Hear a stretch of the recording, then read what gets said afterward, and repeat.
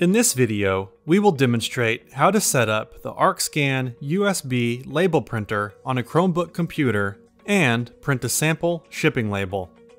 Let's begin by clicking on the launcher button and in the search bar, type the word Files. Click on the Files icon when it appears. We need to create a new folder to store the printer driver in. And then right click on My Files and then click on New Folder. Give it a name that is recognizable. Mine is going to be called Printer Driver. Next, we need to open up Chrome and go to the website arkscan.com slash driver. Click to expand the Chromebook drop-down menu. Click on the Download the Driver file link to download the print driver.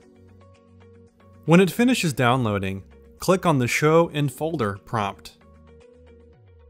This will open up your Downloads folder. Find the Arkscan Chromebook Driver.ppd file. Click and drag the file into the folder we made just a moment ago. It is highly recommended that you do not store the print driver inside of the Downloads folder.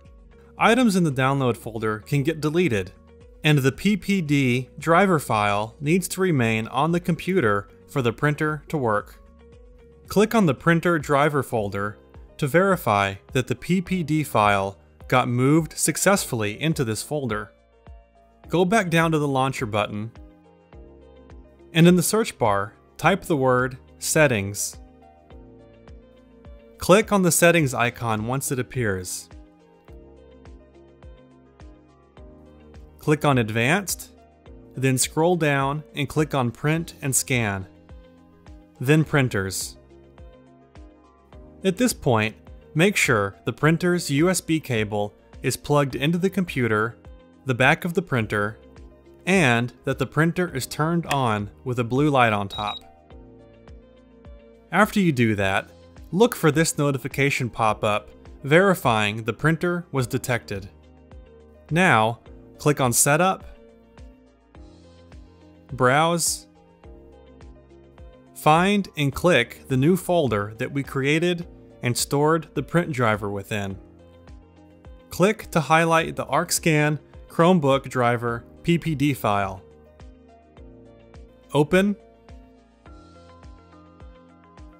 click Add, and now you will see your Arkscan listed as a saved printer. Once everything is working, we can test print a sample 4x6 shipping label by going to arkscan.com slash sample. Make sure you have run the printer calibration before printing. See the link below on how to run printer calibration. Click on the printer icon in the top right corner. When the printer dialog pops up, go to the destination drop-down list and choose See More. Double-click on the Arkscan printer in the list. More settings. Make sure the paper size is 4x6. And let's change the scale to fit to printable area. Now we can click Print and Verify.